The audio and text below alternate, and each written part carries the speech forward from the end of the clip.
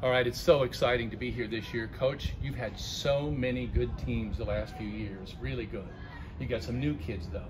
What can we see? What, what do we expect? Well, uh, one thing we always come out is just try to live up to some of the Miners traditions that we do. Come out a lot of hard work, a lot of physicality, a lot of hard hitting, and just being as disciplined as we possibly can. Um, that's what you always try to see out of one of our Miner teams.